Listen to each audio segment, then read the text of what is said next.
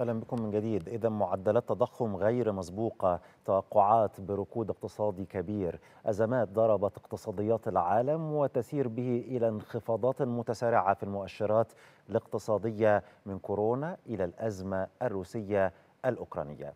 اقتصاديات العالم لازالت تعاني نناقش هذه التطورات في المشهد الاقتصادي العالمي وسط توقعات بركود اقتصادي ضخم مع ضيفنا عبر سكايب الأستاذ محمد أنيس الخبير الاقتصادي. بعد تحية لك أستاذ محمد. إذا نبدأ بتصريح لكبيرة الاقتصاديين في البنك الدولي كامن راينهارت. أبدت تشككها في قدرة الولايات المتحدة والاقتصاد العالمي يمكن على تفادي الركود مع تسارع طبعا التضخم والارتفاعات الحادة في معدلات الفائدة وتباطؤ النمو في الصين. ما رأيك في هذا التصريح؟ هل يعتبر واقعي؟ مساء الخير يا أستاذ شادي مساء الخير يا أستاذ إبراهيم وبمساء على حضراتكم وعلى كل السادة المشاهدين. الحقيقة حضرتك يعني اختصرت الأمر في يعني مقدمة جميلة ومختصرة ومفيدة لكن الحقيقة خليني أقول لحضرتك الأرقام كالآتي. الربع الأخير في الولايات المتحدة الأمريكية الربع الأخير من عام 2021 كان فيه معدل نمو ب 5.6 من عشرة. الربع الأول بتاع 2022 يعني لحد 30 مارس ظهر من يومين الأرقام بتقول إن في انكماش ب 1.6 من عشرة. يعني بعد ما كان في نمو إيجابي ب 5.6 من عشرة بقى في انكماش للاقتصاد ب 1.6 من عشرة. ولو ولو, ولو نفتكر هنلاقي إن بداية حرب أوكرانيا أو الحرب الروسية في أوكرانيا كانت مع نهاية شهر فبراير. يعني ده الربع اللي حصل فيه تأثير مباشر ناتج عن هذه الأزمة. لو حضرتك بصيت بقى على على أوروبا هتلاقي نفس الأمر من غير ما ادوش السادة المواطنين يعني أو المشاهدين بأرقام. لكن الحالة عبارة عن تحول من نمو إلى تحول إلى انكماش. يعني الاقتصاد حجمه بيصغر بدل ما يبدأ يتوسع وينمو. فالحقيقة ده ده الواقع وده له تأثيرات ضخمة جدا على الاقتصاد العالمي لأنه مدفوع بالتضخم مش بس مش بس الأزمة بتاعة أوكرانيا لكن كمان معدلات التضخم مرتفعة للغاية 8.6 من عشرة في الولايات المتحدة الأمريكية وكذلك 8.6 من عشرة في اليورو زون منطقة اليورو في أوروبا. وبالتالي هذا الانكماش يعني عبارة عن انكماش تضخمي ففي ارتفاع للأسعار وفي صغر في حجم الاقتصاد. أيوه يمكن كمان يعني البعض بيرى أستاذ محمد إنه الأزمة لم تبدأ فقط بكورونا حتى ولكنها بدأت بالحرب التجارية التي وقعت بين الولايات المتحدة والصين يعني كانت هذه أولى الأزمات تلتها طبعا أزمة كورونا ثم وصلنا إلى الأزمة الروسية الأوكرانية. والله طبعا كلام حضرتك سليم لكن في في أزمات مصنوعة. أو يعني إلساسة هم اللي هم اللي واخدين هذا القرار وفي أزمات جت فوق دماغ الجميع صناع القرار والمواطنين العاديين هل تعتبر الحرب التجارية جداً. بين الولايات المتحدة والصين هي أزمة مصنوعة بالتأكيد م. يعني هي أداة حاولت الولايات المتحدة الامريكيه استخدامها ضد الصين لتقليل حجم الصين وتقليل حجم المكاسب الاقتصادية للاقتصاد الصيني عبر التجارة مع الولايات المتحدة الأمريكية. وبالتالي المفروض إن متخذ القرار السياسي والاقتصادي في الولايات المتحدة الأمريكية لما ياخذ هذا القرار بزياده الأعباء الجمركية على الولايات المتحدة على الصين بيبقى واخد باله من التأثيرات السلبية على الاقتصاد الأمريكي. لكن لما كلنا نتفاجئ إن بعد ما كان في هذه الحرب التجارية ما بين الولايات المتحدة الأمريكية من ناحية والصين من ناحية. نفاجأ بثلاث أزمات متتالية غير مرتبة يعني غير مصنوعة من متخذ القرار. كانت ترتيبها كالآتي وجاية على ثلاث سنين متتالية. 2020 أزمة كورونا بكل يعني المآسي اللي إحنا عشناها فيها. و2021 أزمة التضخم اللي ناتجة عن سوء حلول كورونا في أمريكا. ثم 2022 أزمة الحرب الأوكرانية. دي دي المشكلة اللي إحنا فيها دلوقتي. إن إحنا ما إحناش بنواجه أزمة واحدة وما إحنا بنواجه أزمة حلها في إيد صناع القرار أو أو السياسيين لكن إحنا بنواجه ثلاث أزمات متتالية في ثلاث أعوام متتالية تبعاتهم شديدة المأساوية على الدول النامية قبل الدول الكبيرة. وإن كان التضخم كمشكلة هو بالتأكيد مشكلة عامة. وتأثيرها معكوس تأثيرها على الدول الكبيرة أكثر أو أو أو أكبر أو أوسع انتشارا من الدول الناميه طيب يعني فكرة حل مشاكل العالم الاقتصادية بمعزل يعني عن روسيا والصين هل هي ممكنة؟ يعني هل يمكن إقصاء دولة مثل روسيا أو الصين؟ يعني ديمتري بسكوف هو المتحدث طبعا الرسمي للرئاسة الروسية أكد استحالة حل مشاكل الاقتصاد العالمي بمعزل عن روسيا في مجموعة العشرين على سبيل المثال. هل بالفعل يسعى الغرب إلى ذلك إلى يعني خلق اقتصاد لا توجد به روسيا ومستقبلا الصين؟ سؤال جميل طبعا. طيب شوف حضرتك هو في حزم من العقوبات الاقتصادية تم فرضها من قبل الدول الغربية على روسيا. م. وفي مواجهة مرتقبة بيتم التجهيز إليها مواجهه اقتصاديه يعني مواجهة اقتصادية وشاملة مواجهه على المستوى الجيوستراتيجي ما بين الغرب من ناحية وما بين الصين. أيوه. ده إحنا قادمين عليه في السنين القادمة. الملخص كالآتي إن اولا الاقتصاد الروسي هيتأثر بشدة بهذا الأمر. أيوه. وهيتأثر بشكل مستدام لأن بيتم دلوقتي عزل روسيا عن الاقتصاد العالمي. وده هيبقى له تأثير شديد لأن روسيا بتعتمد في اقتصادها على تصدير بعض أو عزل روسيا عن الاقتصاد الغربي بالأساس أستاذ محمد لأن الاقتصاد العالمي يوجد به الصين الهند دول أخرى تريد التعامل مع روسيا اقتصاديا طبعا. صحيح. وده وده المنفذ اللي كنت اقوله لحضرتك إن الغرب بيسعى إلى عزل روسيا عن الاقتصاد العالمي بينما هتحاول روسيا إن هي تزيد يعني روابطها الاقتصادية مع باقي الدول التي ليست تحت السطوة الكاملة للآليات المالية والأدوات المالية اللي مسيطر عليها من الدول الغربية. اذا فهيبقى في تأثير صحيح مستدام على الاقتصاد الروسي لكن في نفس الوقت الدول الغربية والولايات المتحدة والدول الغربية هم بيراهنوا على قدرتهم على السيطرة على الأدوات المالية والاقتصاد الم... والاقتصاديات العالمية، يعني نظام سويفت، يعني الأسواق المالية العالمية، يعني المؤسسات المالية الدولية، يعني هم كأسواق كبيرة في أوروبا وأمريكا هم بيستخدموا هذه الأدوات الآن في هذه المعركة. آه. هيبقى في مخاطرة ألا وهي إن ده هيزيد بشكل إجباري الروابط ما بين الشق الآخر من العالم ما بين روسيا ما بين زي ما حضرتك ذكرت ما بين الصين ما بين الهند. دول البريكس على سبيل المثال يا أستاذ محمد يعني. صحيح صحيح. حتى استخدام ال ال الدولار كسلاح الآن وهو في الأساس المفروض إن هو عملة الاحتياطي النقدي ده بيزيد من مخاطر ظهور عملات أخرى عملات دولية أخرى في قد تتحول إلى منافس له ك يعني كعملة احتياطي دولي زي زي ال ال اليوان اليوان الصيني هم بيجهزوا نفسهم لده زي ما بريكس أعلنت عن إن هي ممكن تعمل عملة موحدة ليها زي منطقة اليورو. دي دي كلها تغيرات وهنا نقطة مهمة. والسؤال ده مهم آه يعني العالم هو هو ليس الغرب فقط أستاذ محمد يعني إذا تحدثنا عن البريكس أو تحدثنا عن الصين الهند إلى آخره فهناك مخارج لروسيا. يعني البعض يرى أن هذه العقوبات طبعا أوجعت الاقتصاد الروسي بشكل كبير للغاية ولكنها لم تنهيه لم تتسبب في انهياره. الروبل يعني استعاد قوته يمكن أكبر من التي كانت عليه قبل الحرب الروسية الأوكرانية. روسيا هي اقتصاد وإن كان ليس بكبر الاقتصادات الغربية ولكن اقتصاد لا يمكن إنهاؤه يعني.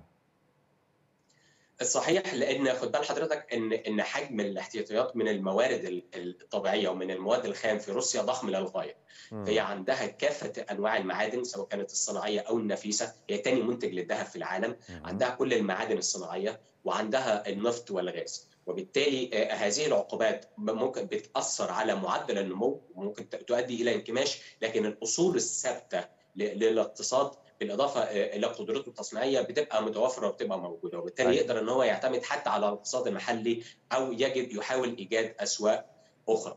وهنا السؤال اللي كنت بقول لحضرتك عليه اللي, اللي الناس كلها تسال نفسها عليه بيه يعني أو تساله هل إحنا مقبلون على تغيير للنظام الدولي؟ سواء كان اقتصاديا أو سياسيا. أنا أنا عندي اعتقاد إن إحنا لسنا مقبلين على تغيير شامل للنظام الدولي ولكن إحنا مقبلين على تغييرات جوهرية في النظام الدولي يعني لن إيه تختفي الولايات المتحدة. أفندم؟ زي إيه التغييرات الجوهرية؟ تمام. يعني الولايات المتحدة واوروبا لن تختفي كقوة عظمى لكن نسبة تأثيرها في المعادلة السياسية والاقتصادية هتختلف وهتقل تغييرات زي إيه؟ يعني هيبقى في يعني عملات أخرى هيبدأ يبقى ليها تأثير أكبر على التجارة الدولية. وده واضح إن هو هيبدأ في ظهور وهيتصاعد. ده في حد ذاته تحدي للنظام المالي العالمي الآن اللي مرتكن ومرتكز على الدولار كعمله احتياطي نقدي وده مش وليد اللحظة لكن هو بيظهر ويتضخم في الأزمات. يعني أنا عايز أقول لحضرتك إن في آخر 10 15 سنة في انخفاض في معدل الدولار كعملة احتياطي نقدي دولي بحوالي 10% يعني نسبته قلت من 70% في البنوك المركزية الدولية إلى نسبة 60% تاني. وبالتالي في في تراكم لهذا الأمر وفي تخوف دولي من البنوك المركزية من استمرار الاعتماد على الدولار فقط. هيظل الدولار هو العملة الرئيسية لكن نسبته بتقل. أيضا الأنظمة المالية إحنا دلوقتي بقينا بدأنا نشوف إن في أنظمة هتبقى متاحة مناظرة أو موازية لسويفت لن لن تتمكن هذه الأنظمة من تخطي نظام سويفت سيظل نظام سويفت هو النظام المالي الرئيسي للتحويلات المالية. لكن هيبقى في بدائل. هنا هيبقى في معادلة مختلفة في التوازنات الاقتصادية والسياسية والجيوستراتيجية اللي مرتكنة على الشؤون الاقتصادية وأيضا الأمور المرتبطة بالأسواق. يعني دلوقتي كل دول العالم بما فيها الغرب نفسه والصين من الناحية الأخرى بدأ ينظر لأفريقيا نظرة مختلفة. يعني هنلاقي في في اجتماع الجي 7 الأخير الجي 7 ده كان جي 8 بالمناسبة يعني كان أيوة. مجموعة ثمانيه وهم استثنوا منها روسيا. فبقى G 7 مجموعة السبعة الكبار. ال G 7 يعني وجه مبادرة لأفريقيا ب 600 مليار دولار. هذه المبادرة هدفها ببساطة محاولة اللحاق بالصين في سيطرتها على أفريقيا. الصين بتشتغل في أفريقيا بقى لها 10 15 سنة بتمدهم بقروض وبتبني مشروعات بنية تحتية هناك. وبالتالي بدأ يبقى في تخوف أن تتحول القارة الإفريقية وأرجو أن الناس تاخد بالها من التعبير اللي أقصده يعني إلى قارة صينية يعني مسيطر عليها من الصين وبالتالي بيحاول الغرب إن هو يلحق بالصين في هذه الأرض المعركة الجديدة آه. اللي هي اللي هي القارة الإفريقية. عشان هذه القارة مليئة بالمواد الخام وهي سوق جديد سوق جديد كبير ومهم. خد بال حضرتك إن القارة الإفريقية هتكون هي القارة الأعلى معدل نموا في السكان على مستوى العالم ال 20 سنة القادمة. بالتالي هي سوق كبير واعد ولديه الكثير من المواد الخام يعني عنده قدرة على الإنتاج وعنده قدرة على الاستهلاك فدي كلها متغيرات هتأثر على المشهد الاقتصادي والسياسي والجيوستراتيجي 15 20 سنة جاية. آه طيب يعني بمناسبة الحديث عن مجموعة السبعه نتكلم عن مجموعة العشرين برأيك ما الذي سيحدث يعني آه أو يعني كيفية التعامل مع آه روسيا؟ روسيا هي هي بت يعني هي يعني صاحبة فكرة إنشاء منطقة مالية أو يعني عملة جديدة لمجموعه البريكزيت. أظن إن هذا الاقتراح هيتم دراسته لكن يعني تفعيله ليس بالأمر الهين لأن في تباينات واختلافات كبيرة جدا ما بين هذه الدول. ممكن يتم فيه تنسيق مالي واقتصادي لكن الوصول إلى مرحلة عملة موحدة دي مسألة صعبة للغاية. يعني يعني أوروبا آه. بكل إمكانياتها اشتغلت عليها حوالي 15 20 سنة حتى تستطيع أن تصل إلى عمله وخد بال حضرتك هنا بقى في تباينات وهنا في تنافسات حتى داخل المعسكر الواحد. مش من مصلحة الصين مثلا إن يظهر عملة موحدة للبريكس. فالصين هتعطل البريكس إن هي تنفذ عملة موحدة عشان خاطر هي مش عايزة حد ينافس اليوان كعملة صاعدة مركزية جديدة. آه آه. وبالتالي هنا هنا في تباينات بتظهر في هذه الأمور. أظن إن إن يعني هيظل اليوان هو العملة الأكثر يعني احتمالية إن هي تنافس الدولار الأمريكي كعمله احتياطي مركزي. وأظن أيضا إن سريعا جدا ممكن العام القادم أو العام التالي له هيرد المركزي الأوروبي والفدرالي الأمريكي على تهديد اليوان الصيني بإصدار حاجة اسمها العملة الإلكترونية. يعني هيبقى فيه digital euro و digital dollar. ده دي الأداة فيما أعتقد. دي هتبقى الأداة اللي هيحاول بها الولايات المتحدة الأمريكية والمركز الأوروبي تقليل السلبيات الناتجة عن تهديد اليوان الصيني لهم كعملات مركزية رئيسية لأن الدولار زائد ابن عمه اليورو هما الاثنين مع بعض يساوي 80% من عملات الاحتياط المركزي العالمي.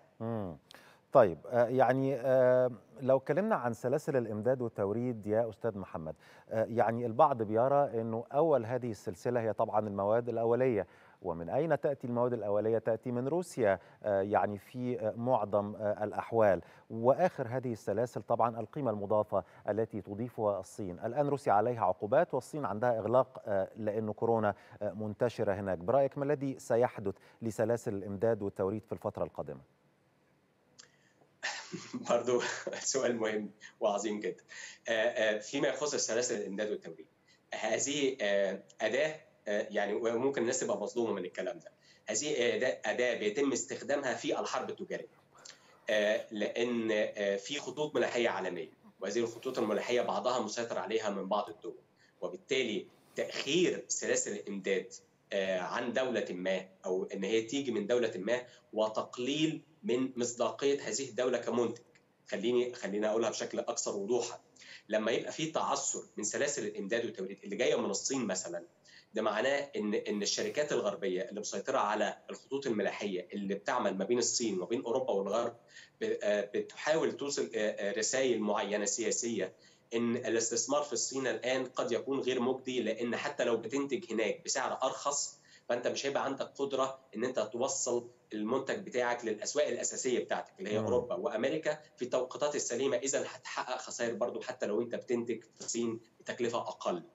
هنا مزج المشهد السياسي مع الاقتصادي هو الوحيد الاداء اللي تخليك تفهم المشهد بشكل عام. لأن ببساطة ولكن يعني يبدو إن المشهد السياسي البعض يراه بيضر. بالمشهد الاقتصادي. يعني هذه العقوبات صحيح. التي يعني تفرض على روسيا وهي عقوبات متزايدة وحزم متتالية. البعض بيرى إنه الاتحاد الأوروبي على سبيل المثال كمن يطلق الرصاص على قدمه. يعني الولايات المتحدة هي طبعا متأثرة أيضا بهذه العقوبات ولكن ليس بالقدر الذي تتأثر به دول أوروبا. يعني هناك الغاز هناك إمدادات الغذاء الحبوب يعني هي تعتمد كثيرا على روسيا.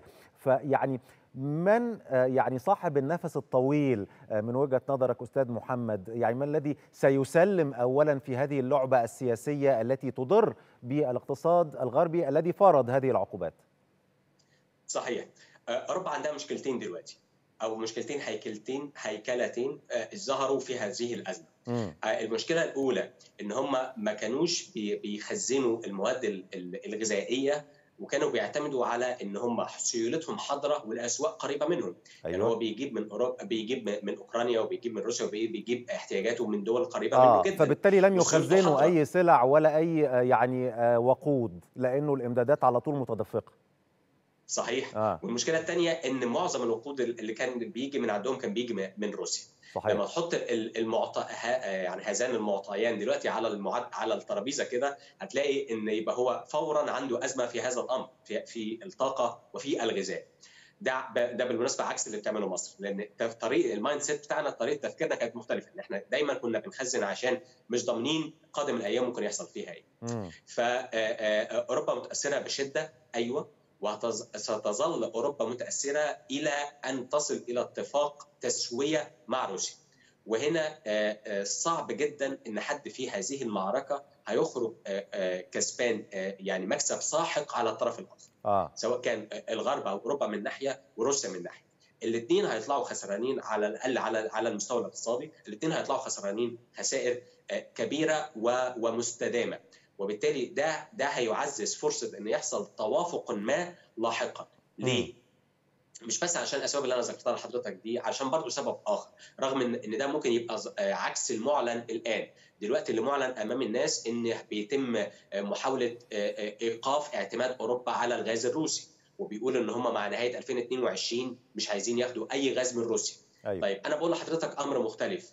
الأمر المختلف ده هو إن أفضل مورد لأوروبا هو روسيا للغاز وأفضل مشتري للغاز الروسي هو أيضا أوروبا. صحيح. لأن الغاز قريب من من أوروبا وبعيد عن الحدود مشتركة. صحيح.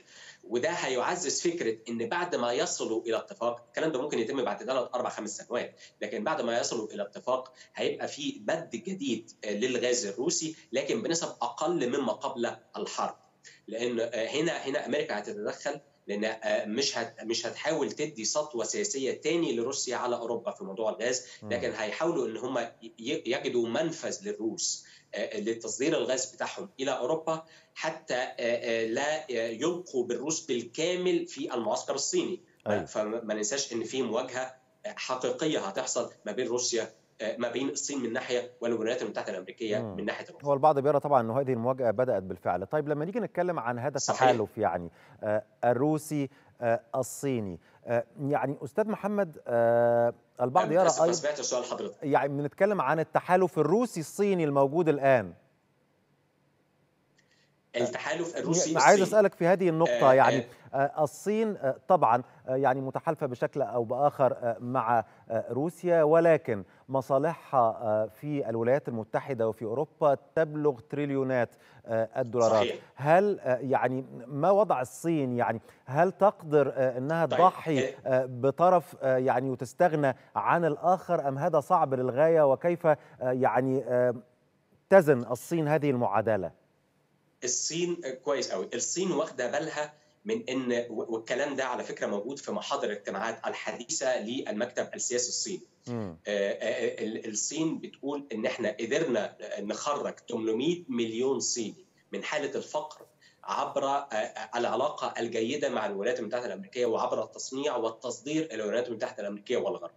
وبالتالي هم مش عايزين يخاطروا بالعلاقة بقطيعة ومواجهة شاملة مع الولايات المتحدة الأمريكية. وفي نفس الوقت عايزين يعززوا العلاقة مع الروس بحيث إن هي يعني يبقى فيها مكاسب أكبر للطرفين دون ما يبقى فيها قطيعة شاملة وتامة مع الولايات المتحدة الأمريكية. وبالتالي هنا في لعبة توازن لعبة توازن بتلعبها الصين. وهنا في نقطة وفي رقم اقتصادي مهم إن إحنا نقوله للناس. في حاجة اسمها حجم انكشاف الاقتصاد. يعني بمعنى حجم تأثير دولة على اقتصاد آخر.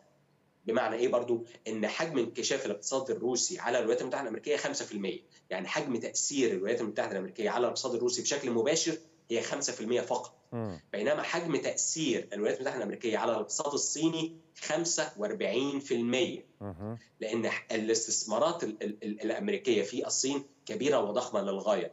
اذا فهنا الصين بتلعب لعبة معادلة بتحاول تحافظ على العلاقة مع الولايات المتحدة الأمريكية وتاخد أكبر المكاسب الممكنة ليها على المشهد الإقليمي والدولي دون مواجهة مباشرة وقطيعة مع الولايات المتحدة الأمريكية لأن ده هيبقى له خسائر اقتصادية ضخمة.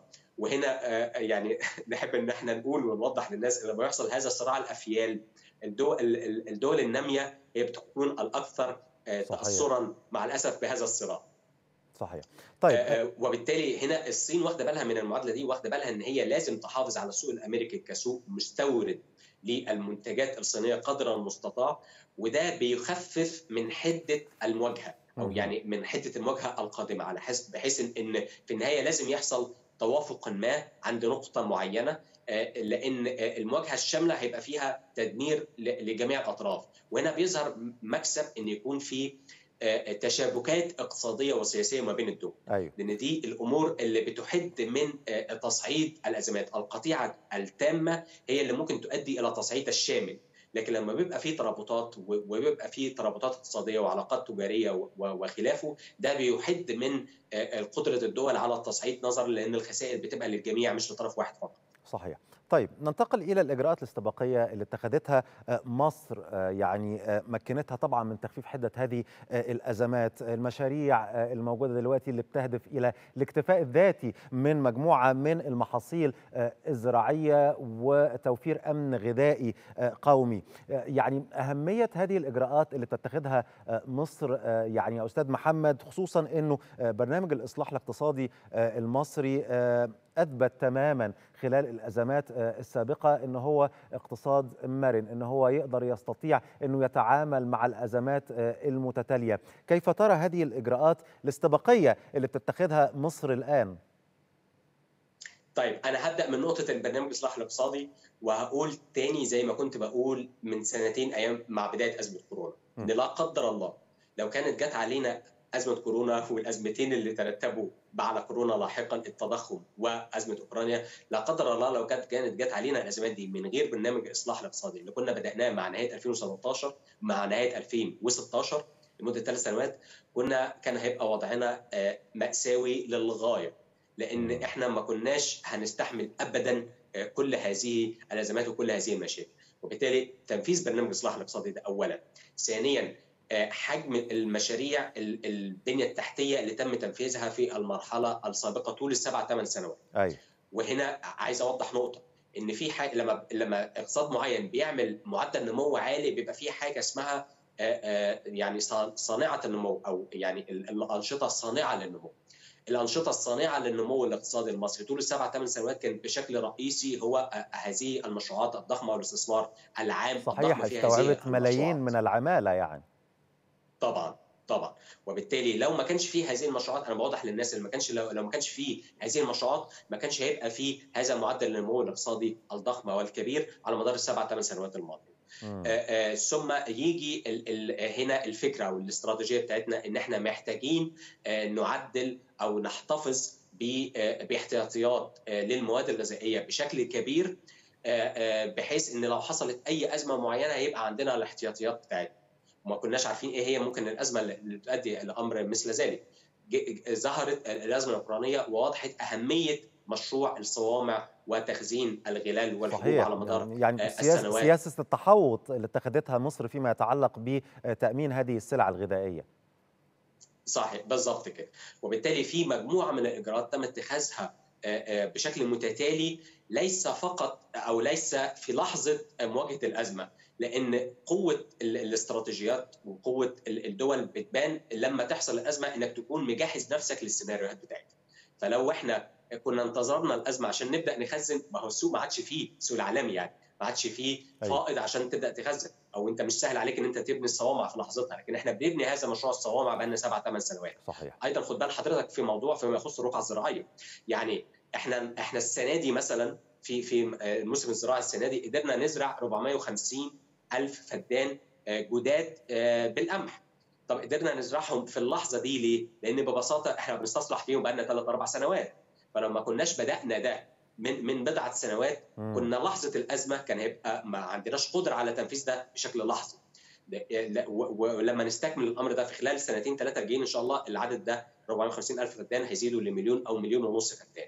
فهنا اللي عايز أوضحه إن إحنا بشكل عام بعيدا عن الأزمات السيئة الغير متوقعة المتتالية ثلاث أزمات اللي ورا بعض دول اللي إحنا واجهناهم في الثلاث سنين الماضيه فإحنا عندنا استراتيجيات آه، يعني حطيناها على الترابيزة وبدأنا تنفيذها هي اللي هتنقل الاقتصاد المصري رغم هذه الأزمات مع مرور الوقت من مرحلة إلى مرحلة أخرى لكن هنا في وقت التنفيذ ده ولازم يعني كلنا نبقى مع بعض واخدين بالنا إن الأمور بتاخد وقت. آه، آه، يعني مش عايز أدي أمثلة دولية بس يعني كوريا الجنوبية مثلا ما بقتش من إلى في آه، في خمس سنين ولا عشر سنين. المسألة خدت خدت وقت أطول من كده. صحيح المسائل المسائل بتبقى متدرجة لكن عايز أقول إن إن المسائل بتحتاج وقت عشان خاطر يبدأ يبقى آه، مردود آه، اقتصادي مباشر على آه، على جميع فئات المجتمع. آه، يمكن صندوق النقد الدولي في احدى تقاريره آه، بلغت تقديراته لنمو الاقتصاد المصري آه، 5.6 من عشرة آه، في المية في العام المالي الجاري 20 آه، 21 20 22 وده تجاوز تقديرات البنك الدولي بنسبة فاصل واحد في المية. مصر من الدول القليلة اللي ما زالت تحقق هذه المعدلات من النمو من النمو ويمكن هذا يعني أو يعني اللي ذكرته يا أستاذ محمد هو الذي أدى إلى هذه التقديرات من صندوق النقد الدولي. أنا أنا آسف يا أستاذ شادي أنا ما سمعتش سؤال حضرتك. يعني كنت بكلم حضرتك عن صندوق النقد الدولي اللي في أحدث آه، يعني تقاريره آه، بلغت تقديراته لنمو الاقتصاد المصري حوالي 5.6 من عشرة آه، في المية خلال العام الجاري 2021 2022 وده تجاوز تقديرات البنك الدولي لنمو الاقتصاد بحوالي فاصل واحد في المية. مصر من الدول القليلة اللي حققت هذا آه، المعدل طبقا لأحدث تقارير صندوق آه، النقد الدولي. يمكن هذا كان نتيجة لكل هذه الأسباب اللي ذكرناها مع بعض. دلوقتي.